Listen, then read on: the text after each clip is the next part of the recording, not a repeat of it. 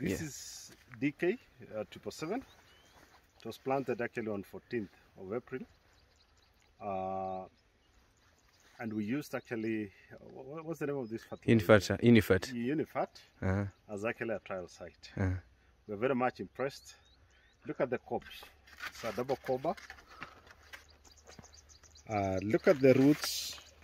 The roots are well developed. Look at the prop roots. And look at the vigor of the plant. It's exactly four months uh, during planting because we planted in April, May, June, and July. It's exactly four months.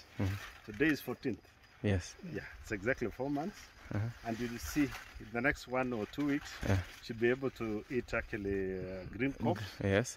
And uh, by August, I think the physiologically the maize actually will be done. Okay. I'm very much impressed. And the differences, have you seen any differences between what you usually use and we don't There's a mention? big difference. Uh, maybe in the next video, you'll be able now to see the difference between the two fertilizers eh, Uh-huh. that uh, we've actually used. Your normal regime and uh, this unicereal. Yes, you'll Yeah. see the difference. Yeah. But so far you've seen. Uh, Yeah, I'm impressed. uh-huh. Yeah, happy farmer. Uh-huh.